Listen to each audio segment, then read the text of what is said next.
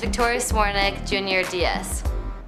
What I like the most about Tucson is being with all my teammates, close to family, and living with Tyler Spriggs.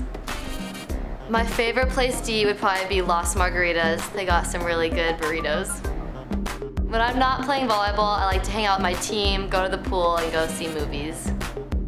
The last movie I saw was Girls Trip. Went with the girls, it was really fun.